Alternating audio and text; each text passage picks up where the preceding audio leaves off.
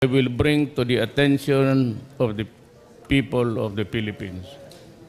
One is the lakadaisal, lakadaisical, lakadaisal, lakadaisical uh, attitude of some big business to do away with contractualization.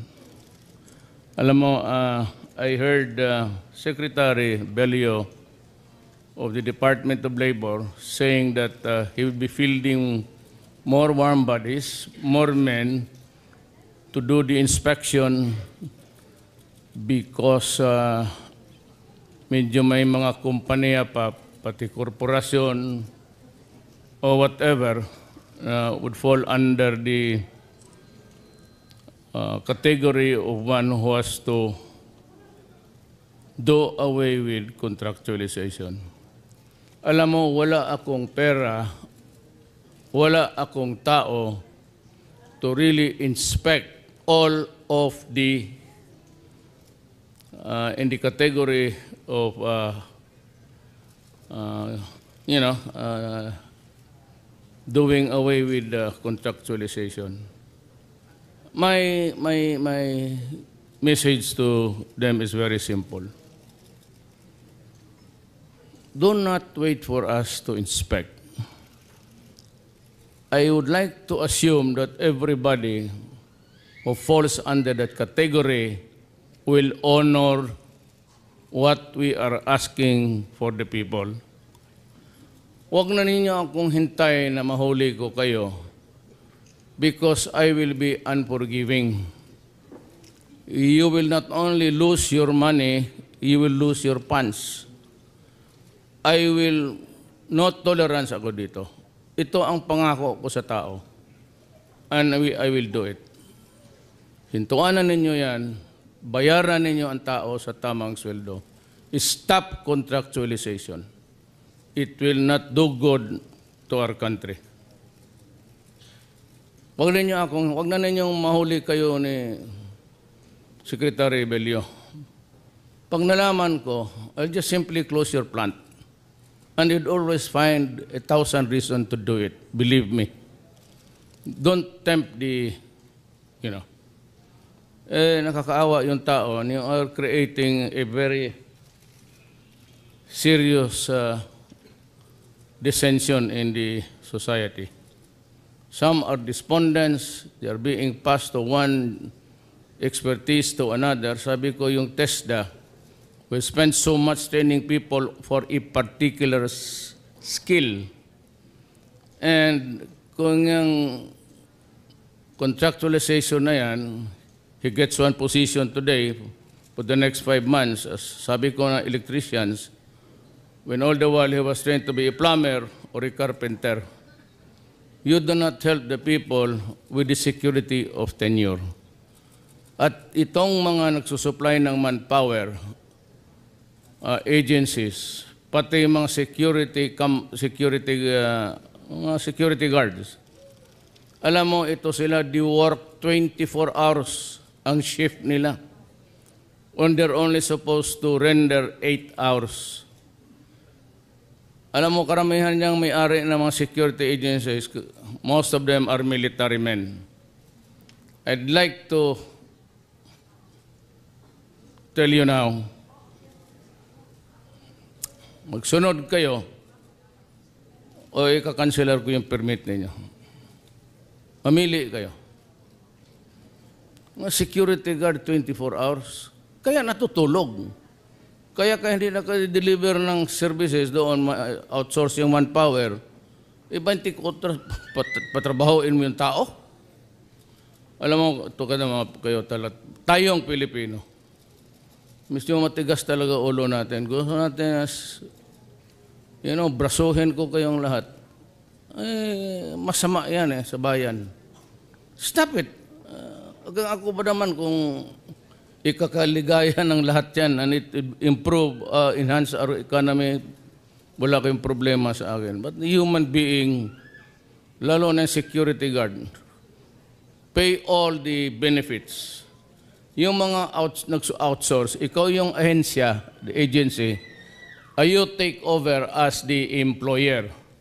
Then pay. Lahat kayo. Huwag kayong yumaman dyan lang pawis ng kapwa ninyo tao. Kalukuhan yan. If you are uh, nag-outsource, whatever uh, airlines assume therefore as the real employer. So bayaran ninyo lahat. SSS, tsaka wala yung paikot-ikot. Huwag ninyong paikotin kasi ang totoo niyan, ayaw talaga niyo magbayad ng...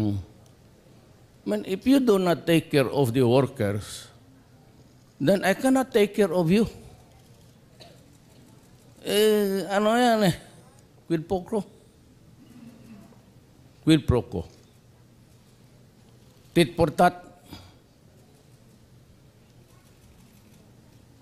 So yan ang warning ko. Second is mining.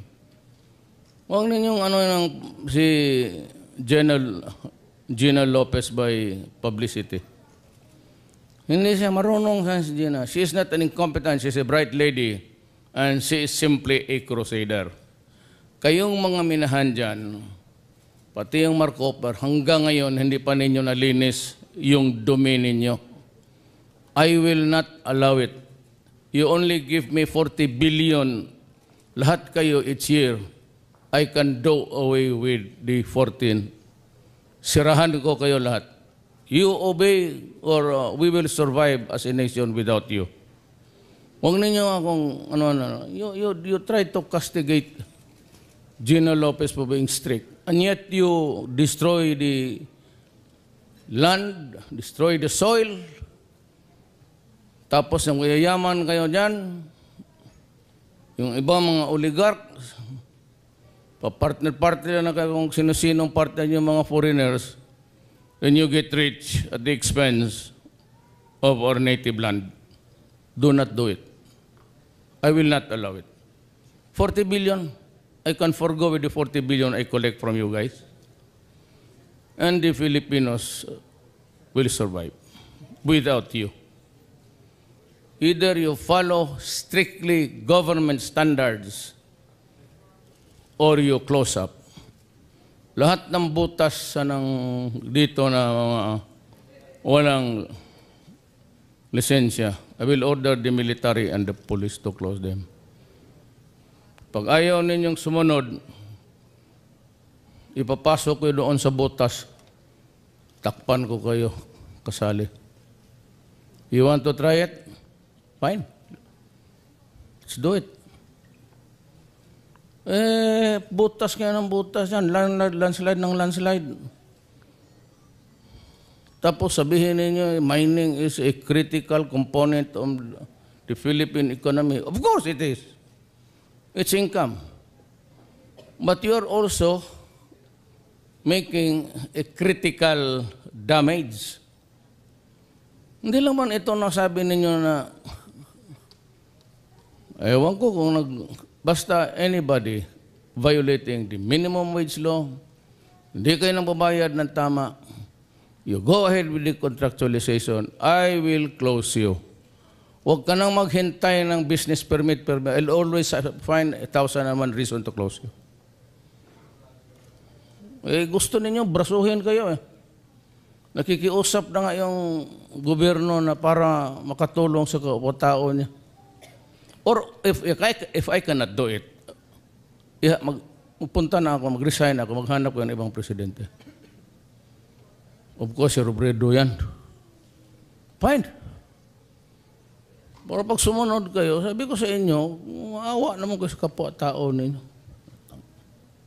Maawa yung gobyerno losing. Kailan pa ba kayo nalugi? Yumayaman ka ng yumaman araw-araw. Yes, bak, uh, hindi ito klase. Ba't ka mag-raise ng hands? Ah, yeah, okay. Kaya pa. In your speech earlier, you talked about um, the uh, peace, possibly resuming peace talks pa rin with the CPP. Are you inclined to declaring the ceasefire again? And can you expound a little bit more on what you plan to do in the next 10 days? Hinuhuli mo talaga ako. Gusto mo ako yuriin ng komunista, no? Well, anyway, uh, as a president, I cannot, you know, go into it.